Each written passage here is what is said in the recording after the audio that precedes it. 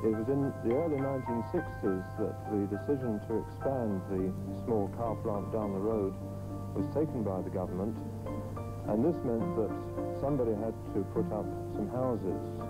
And it was done in Linwood by tacking on a very large housing scheme onto what had been previously a very small village community and a very happy village community as far as I gather. When I came to Linwood, I was two years of age, and it was just after the Second World War. Linwood has changed dramatically from being a small village to a bigger, much bigger place when the car factory came. The, the Pressed Steel car factory was always there, but when Rootes came in the 60s, obviously Linwood became, became a much bigger place. See the big sign there, Linwood Regional Shopping Centre? That was, when you come into Linwood, that was one of the first shop, big shopping centres that um, were built. And that, that's down in, down in the, where the village was. Uh, all the new shops were built and it was a, it was a wonderful shopping centre. They had a Woolworths and a big furniture store and all different shops and it was, it was absolutely wonderful. After car closed, the school rolls fell a lot and uh, some of the schools were closed down and people didn't have the employment that they'd had before and in the 80s there was a lot of high big high unemployment in Linwood. Obviously lots of the, the shops started to close down and the shopping centre became very very derelict and it was never ever maintained and the rates of the, the shops, with the people that had the shops, the rates were so sky high that people couldn't afford to be in the shops anymore. So a lot of the shops uh, closed down and the centre became really derelict.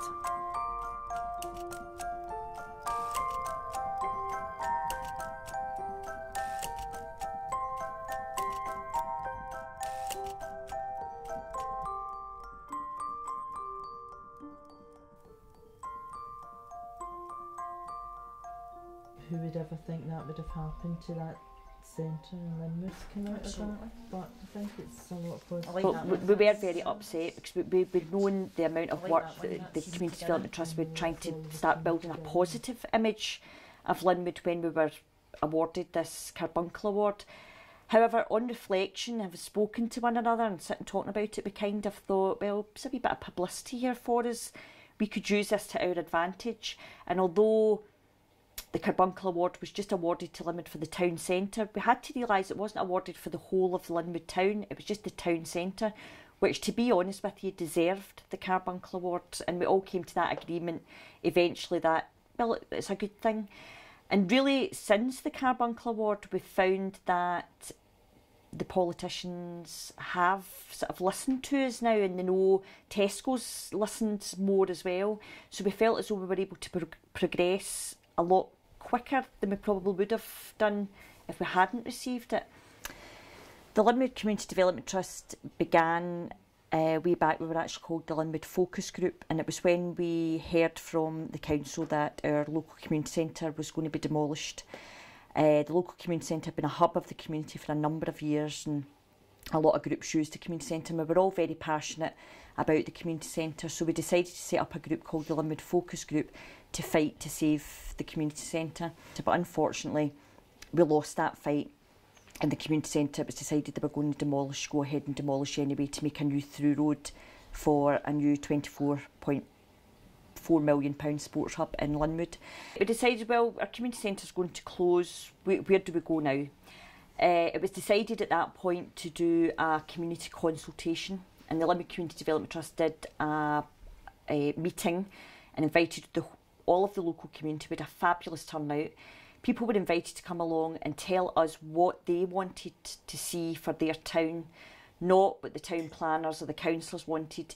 And it was fabulous. It was a very inspiring, very empowering day when we actually heard from the local community the simple things that they thought were important to them within their community. We then worked towards getting the community plan together so that we were able to put that back out to the community and say, well, this is what you've said, this is what we're going to try and achieve for you. So we feel as though we needed a community hub with us a football pitch attached to it. And we've continued to work alongside uh, organisations such as Oxfam, um, our local council, council and councillors, council officers, and we are at the stage now where, in principle, we have been given land to sort of fulfil our dream, really. Linwood was always a very, very good, close community.